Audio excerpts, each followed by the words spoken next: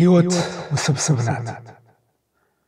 የምንባብ ክፍል ኢዮብ 42 ከ1 እስከ 6 ኢዮብ በዘመኑ ተጠንቅቆ ኖሮ መከራ ሲያጠቃው አሰማ ሮሮ። እግዚአብሔር ሆይ ምነው ለምን ደረሰብኝ?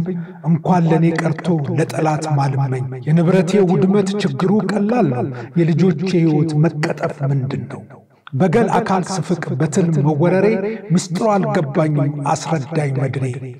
ቅን ጻዲቅ ፍጹም ሰው በእግዜር የተባለው ያን ሁሉ ውርጅብኝ በምን አቅም ቻለ? ማጉረምረም ሲያንስ ነው ጥያቄ መጠየቅ። እግዚአብሔር መልስ አለው ለኢዮብ አትጨነቅ። ባልገባን ነገር ላይ ተነስተን አንበድ፣ እንደ ኢዮብ አጽናኞች በሌላው አንፍረድ። ከኔ እውቀት ሁሉ ያንተ ስለሚበልጥ ኤልሻዳይ እንደሆንክ ይህ እውነት ይገለጥ። በሆነብኝ ነገር ያልገባኝ ብዙ ነው፣ መልካም መሆንህን ሁልጊዜ አምናለሁ። ከግምቴ ውጪ በሆኑ ነገሮች አንተ ይሁን ካልከው እኔ አላመቻም። ሁሉን ቻይ አምላክ በሰማይ ስላለ ያ ሁሉ መከራ ባንዴ ገለል አለ።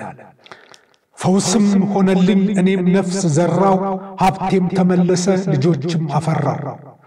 የራቁኝም መጡ ስጦታ አስጭነው፣ ዛሬ አላማረርም በእኔ ላይ በሆነው ሳይገባኝ የገባኝ መስሎኝ ያወራሁት እግዜር ሲጎበኘኝ እኔው ነኝ ያፈርኩት።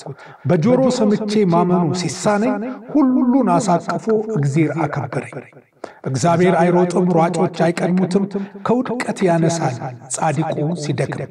ያገኘ ሲደሰት ያጣም ይበሳጫል። የዚህ ዓለም ነገር ይህንን ይመስላል።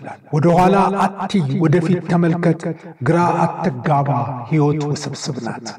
በዶክተር ኤርምያስ ማሞ በሀገር አቀፍ የቃለ ሕይወት ቤተ ክርስቲያን በዋናው ጽሕፈት ቤት በተደረገ የጾም ጸሎት ቀን ካቀረቡት መልእክት የተወሰደ